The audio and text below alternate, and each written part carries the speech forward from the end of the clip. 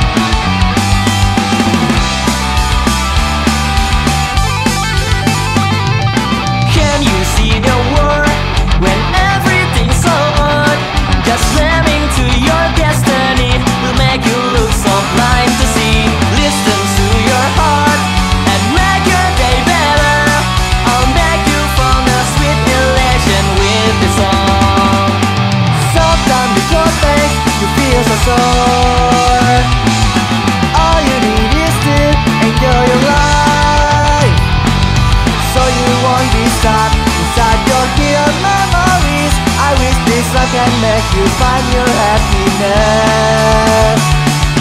Don't try to remember